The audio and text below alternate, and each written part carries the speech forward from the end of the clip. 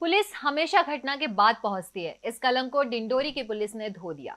डिंडोरी में bike accident की घटना पर तत्काल पुलिस पहुँची और घायल पिता पुत्र को पुलिस ने थाने के वाहन से अस्पताल पहुँचाया, जिससे दोनों सुरक्षित हैं। लोग पुलिस के इस काम की जमकर सराहना कर रहे हैं। पुलिस का काम होता है कानून की रक्षा करना लॉ एंड ऑर्डर को मेंटेन करना, जिस वजह से उनका रवैया सख्त रहता है। लेकिन पुलिस वालों के सीने में भी दिल धड़कता है। उनमें भी मानवीयता होती है। कई बार पुलिस का ऐसा मानवीय चेहरा सामने आता है जिससे जनता उनकी मुरीद हो जाती है। ऐसा ही हुआ डिंडोरी में, जहाँ बाइक एक्सीडेंट में पिता पुत्र घायल हो गए। इन घायलों को पुलिस ने अपने थाने के वाहन से जिला अस्पताल पहुँचाया। घायलों को अस्पताल पहुँचाने में कोतवाली पुलिस के मुकेश बैरागी आरक्षक सोनू गुर्जर व यातायात पुलिस के केपी सिंह की भूमिका रही। इन पुलिस वालों की तत्परता से दोनों घायलों को समय पर इलाज मिल सका और दोनों की जान बच गई।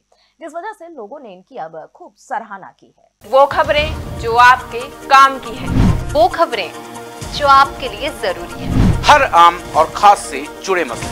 हर मसले का सटीक विश्लेषण। हम करते हैं सत्य का अन्वेषण। दखल न्यूज़। आपके हक में। आप देख रहे हैं दखल न्यूज़।